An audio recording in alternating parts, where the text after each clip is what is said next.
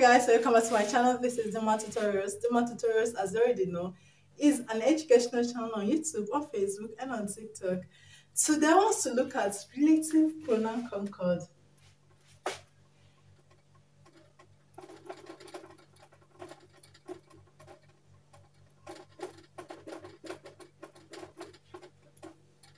Okay, I want to look at this topic, relative pronoun concord. Okay, relative pronoun concord. This is one of the topics you're going to see in the section on completion of sentences. There is hardly a year you don't see a question on relative pronoun concord. Okay, first, what's a relative pronoun? A relative pronoun is a pronoun that tells us more about a noun. Okay, they are used in the traditional relative clauses. Okay, they tell us more about a noun. They include um who, which, whose, that, etc. Okay, they're used in traditional relative clauses. Okay, I'm treating this topic because I see a lot of questions on it in the past questions. Okay, so I needed to pay attention because it's very simple and you just need to understand how to apply the rule to make it very easy for you. Okay, now let's see an example of a sentence that contains a relative clause. Okay, let's take um one of the men who plants in the farm is my uncle. One of the men who plants in the farm is my uncle. Okay.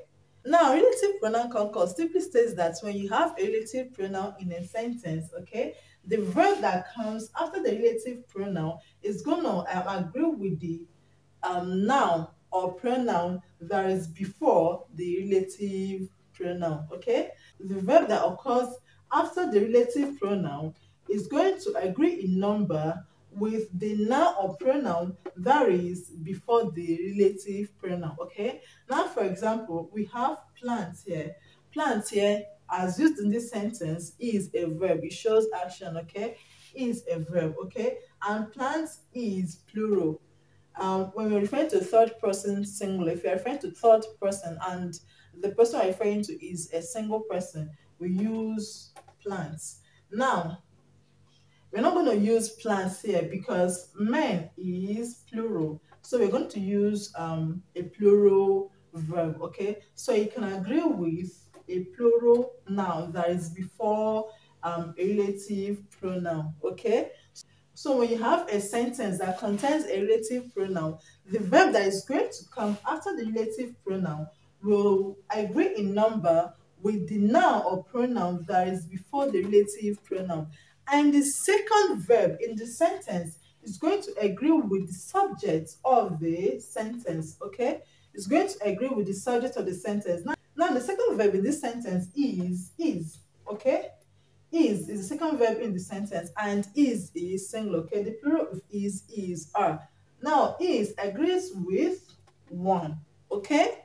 It agrees with one. So when you have um, a sentence that contains a relative pronoun, the verb that comes after the relative pronoun is going to agree in number with the antecedent, okay? The noun or pronoun that is before the relative pronoun. And the second verb is going to agree with the subject of the sentence or the first noun in the sentence, okay? I hope you understood, okay? So let's see another example before we answer a question from JAMB past questions. Some of the men that live here are not Nigerians. Some of the men that live here are not Nigerians, okay? Now, this sentence, we have a relative pronoun, okay? We have that, okay? That, and the, the noun that is before that, is it singular or plural? It is plural. So we're going to use a plural verb, okay? The plural verb is going to come after the relative pronoun, okay? Now, if you want, if, now if you want to make this singular, you add s. Okay, so because men is plural, men refers to more than one man. So because men is plural, we are going to use a plural verb to agree in number with men. Okay. Now the second verb in this sentence is are. Are. Okay. Are.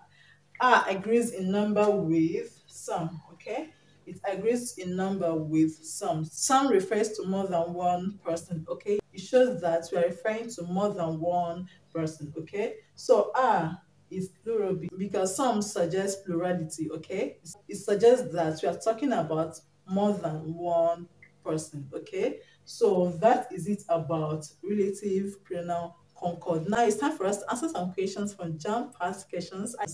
This is JAMB past. This is um JAMB past questions and booklets. Okay, let's um answer some questions from JAMB past questions on um relative pronoun concord. One of the women who dash in the premises dash be asked to vacate. Okay, uh, we have option A, sells slash has, B, sells slash have, C, sells slash has, and D, sells slash have. Okay, now which of these is the correct answer?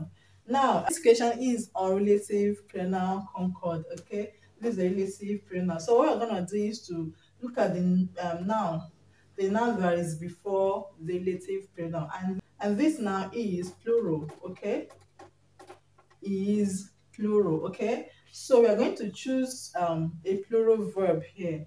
Now, selves, is this singular or plural? Is singular. So we're going to rule off this one. Cell is um, plural, cell is plural in option C, and cells in option D is plural. So we're, we're going to rule off these two, and we're left with B and C. Okay, so we are going to write cell here, okay, because this now is plural. And let's choose a verb for the second gap, okay. Now, um, the second gap has to uh, refer to the subject, okay? It has to refer back to the subject. Now, the subject is one.